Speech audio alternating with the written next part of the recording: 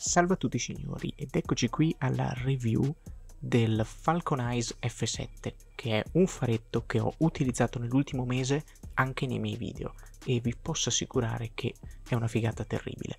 Quello che sta facendo in questo momento è far ruotare qualche colore RGB perché oltre ovviamente ad avere tutti i colori possibili immaginabili eh, ha anche la possibilità di essere regolato con delle tonalità di bianco che vanno dal molto freddo al molto caldo mi rendo conto non essere professionale, quindi ecco la dimostrazione direttamente dallo schermino dietro, peraltro comodissimo. Come avete visto il range da 2500 a 9000 K, quindi da molto caldo a molto freddo essenzialmente, e ovviamente è possibile anche modificare la luminosità ad un livello veramente bassissimo fino a sostanzialmente accecarvi.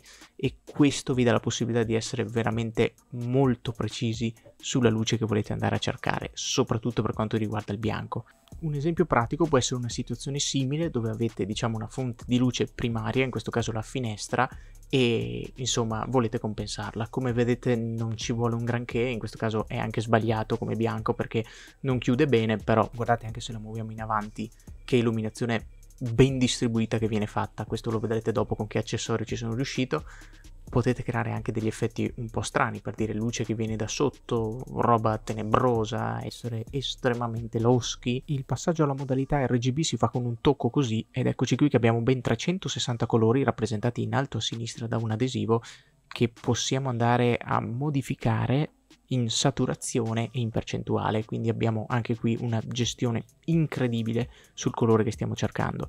Questo può essere utile per fare qualche effetto visivo come luce di appoggio, anche perché illuminarsi di viola non so quanto possa essere furbo. Parlando di hardware invece, guardatela, è compattissima, leggera, vi, vi sta in mano praticamente. Non...